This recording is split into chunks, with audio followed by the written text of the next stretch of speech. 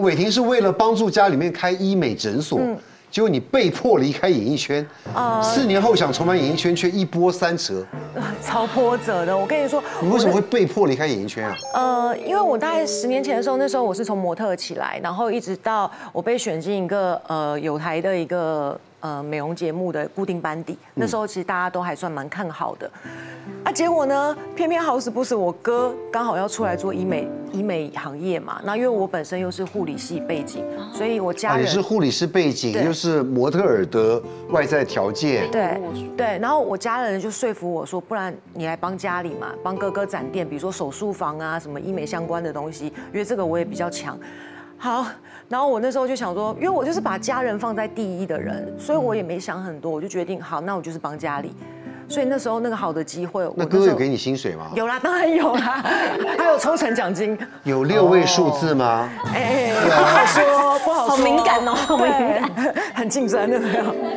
对，然后那个时候经纪公司就不谅解了嘛，因为他觉得我把你推到这边，然后你现在这时候跑去帮家里，对啊，所以那时候等于就是被有点像冷冻，所以那段时间等于其他通告全部都被断掉了。嗯，对，那。其实后来一直到哥哥诊所那边比较稳定，大概差不多四年左右的时候，我就觉得，哎，好像我是不是又可以去做我的事情，把之前前面的事情再继续？因为我觉得好像有一个有一点有一点没有圆圆梦还是什么之类的。对，好，然后我一个朋友刚好跟我讲说，哎，不然我们合开一个娱乐经纪公司，因为那时候我们有一些呃。大陆那边的旅游旅游公司的一些资源，所以我们合拍了做了一个旅游节目，介绍台湾的一些吃喝玩乐，对，然后伴手礼啊，对，叫奇幻的旅程。然后那时候我们就是有一些观光的业务是主要的变现模式，但没想到才一年多不到的时间，大环境影响，疫情啊，呃，也不是还不到疫情，那时候是。呃，就内地过不来，对，变成这个东西，然后变成是公司的主要变现的状况是整个一落千丈，对。然后那时候的股东也开始什么事情都要针对你，什么事情都要念念念，然后连垃圾桶大还小，什么颜色都要管你，就大家很难做事。那我觉得我那时候最沮丧的时候，是因为我一开始有个好朋友，在我开公司的时候状况还好的时候，他来求我帮忙，因为他自己做一个品牌。然后他没有什么资源，然后想说，哎，你刚好做这公司的话，你有一些行销资源可以利用。好，那结果嘞，到我不好的时候，他反过来咬我一口，反而打官司。哈哈。对，所以我那时候很沮丧，是因为我觉得我被我有点被忘恩负义的那种感觉，我很受伤，因为我尽可能的去帮你了，然后还有就是事业卡到了。对，然后我身体也亮红灯，因为那时候真的太忙了，也没什么好好睡觉。我那时候就觉得我好累哦，然后照镜子的时候眼眼白都黄黄的，我就去看医生，医生就跟我讲说，哦，抽完血肝指数过高，有点快猛爆性肝炎。然后更扯的是，小小的一个盲肠炎的手术，一一般一个人一个礼拜就出院，而且那时候我还是开显微的哦。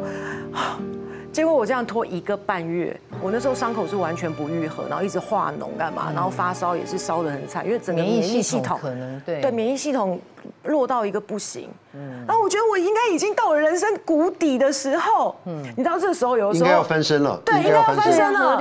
然后这时候我想说，哎，出现一个曙光，有一个异性跑来，哦，对我好好哦，关怀备至干嘛？我就觉得哇塞，我有人呵护了，对。靠！没想到他是个渣男，好，渣男他他多渣？嗯，他那时候就跟我讲说，他用很关心我，跟我规划未来，然后跟我说什么，哎哎，伟霆，你这边公司这边的这个状况，你一直在烧钱不是办法。那他是做投资理财的，然后就跟我说，不然你要不要有点被动收入？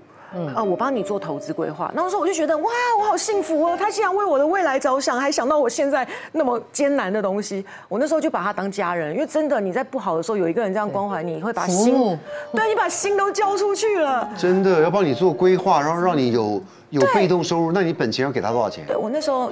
自己去贷款贷了两百两百两百多左右，两百多贷两百多给他去做投资，对我就全部给他，因为他那时候就跟我讲需要一个金额才能去可以让你有被动收入。对我没有想那么多，然后我也把我真的把他当家人，我也没有签什么什么什么合约什么东西的。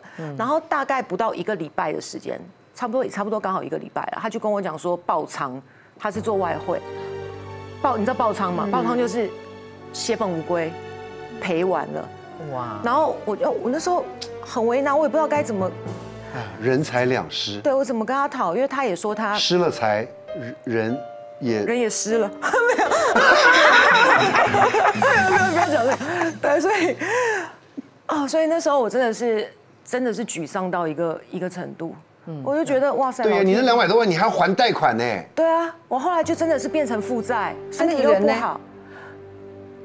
他就慢慢跟我跟我消失联络 没有，他真的是跟我消失联络。然后后来是我朋友跟我讲说，他其实一直都有另外的小三。那我是我那时候就是真的恋爱脑还是怎么样，我也不知道哎。我那时候在低谷期的时候，我真的就是一个浮木我就抱住了。嗯嗯嗯啊，我真的觉得很可怕。你那世間水水，頭殼嘛碎碎，因为那时候你不知道，因为那个时候你真的遇到的是，你看你负债，然后身心状况都不是很好。对，然后家里人也不谅解，你觉得你医美做的好好的，那你你为什么要去搞这个事业，然后把自己搞得什么身心俱疲，然后受了一堆伤这样。然后我那时候甚至因为要还债嘛，我的三餐其实说真的是蛮有状况的，然后甚至到后面我可能房租也是有一些有一些卡住，我讲到会有点难过。反正就那时候真的是很低潮，我连家都不敢回了，我也不敢去跟我爸妈讲这些东西。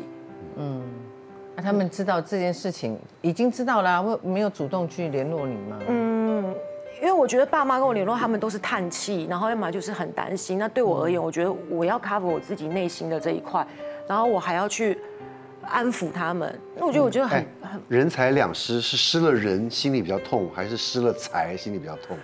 都痛啊不好？其实都痛，因为诗我觉得你是人不痛啊，你才比较痛。其实真的都很痛啊。他他他是这样子，对，独林反正用了就用了因为，但是钱这个财比较多，就对了。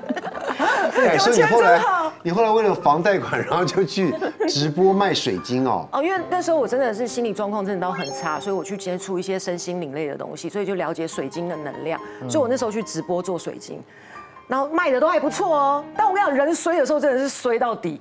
我去卖个直播水晶，莫名其妙我的 FB 账号被人家投诉干嘛的，被锁住。那时候真的是一片黑暗。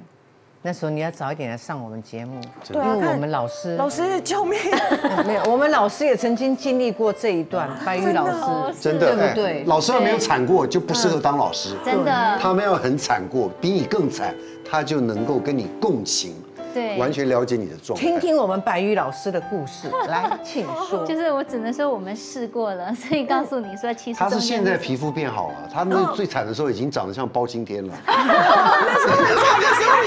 很惨，真的免疫能力都免疫能力都落掉，整个脸狂炸。对我确实是这样，就是那时候是，呃，我开始第二次工作的时候，我要回到我的科技业，但是我那时候自己带小孩，我有我那时候单亲，然后自己带小孩就是啊，如果我去科技业工作，那个时间还要跟国外接触，根本就来不及，所以小孩要给别人带嘛，比如说请一位保姆怎样，但我就觉得，哎，我才刚单亲，小孩不适应，这时候再请保姆带，这怎么办？我觉得作为妈妈，我会很愧疚，她要用一生去治愈现在我造成的困境嘛。是，对，所以我不能，不能，所以我就科技业，我有两个很棒的 offer，六位数。哇，对，直接讲对，没有商业秘密。对，这个没有，这对就只能不要。然后我就想说，那我要做什么？那我喜欢研究人，喜欢研究心理，然后现在就是也在人的低潮期啊，觉得自己可能看人看事情都不准，那我应该去念心理学，所以我就念了心理学的研究所，考上了。嗯，很棒吧？然后半工半读，有自己的那种 part time 工作，在呃，就是接不同的跟心理学有关的，比如说广播啊，还有一些小讲座啊。其实是很幸运，因为我原本是科技业，转到这里还可以做点小讲座，然后接广播。广广播是一位心理学的博士，他喉咙出问题，他觉得我不错，让我去接他。哦，很棒哦。嗯结果我在上学途中就这样半工半读带小孩，直接就给他过劳，差点死掉，抢救回来。当时是量不到血压的，哎，对，然后呃就是引发急性败血症，然后全身的大关节全部都积水，然后在医院一个月都出不来，后来出来之后有半年都坐轮椅，不能走路。你？对。你曾经？对对，你看我没开玩笑吧？实在厉害。气色黑到像包青天。